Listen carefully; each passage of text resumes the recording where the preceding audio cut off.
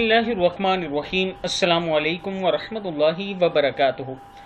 आबिद राजा channel की तरफ़ से आज मैं अपने दोस्तों को रसूल सल्लल्लाहु अलैहि व आलिहि वसल्लम का एक बहुत ही प्यारा फरमान बताऊँगा।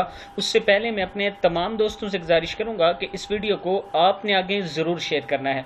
तो शुरू करते हैं। बिस्मिल्लाहिर्रहमानिर्रहीम। रसूल अल्लाह सल्लल्लाहु अलैहि व आलिहि वसल्लम ने इरशाद फरमाया, मोमिन के लिए मुनासिब नहीं कि वह अपने नफ्स को जलील करे।